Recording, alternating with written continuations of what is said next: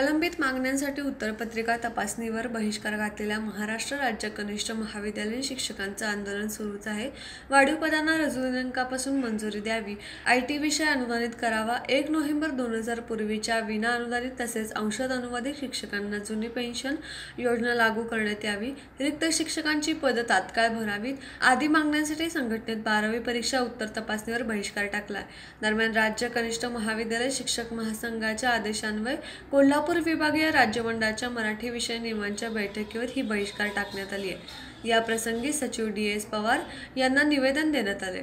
याप्रसंगी जिल्हा कनिष्ठ विद्यालय शिक्षण संघटनेचे अध्यक्ष अभिजित एस दुर्गी संजय मोरे शिवाजीराव हेडगे मराठी विषयाचे मुख्य नियामक महेश कळेकर नियामक बाबासू माळवे नानासाहेब जामदार शिवाजी दिंडे श्रीधर दिंडे सदाशिव आदुरे यांच्यासह मराठी विषयाचे नियामक उपस्थित होते. तर अशाच ताज्या अपडेट्ससाठी speed news live twenty four चॅनेलला सबस्क्राईब करा आणि बेल आयकॉनवर प्रेस करा.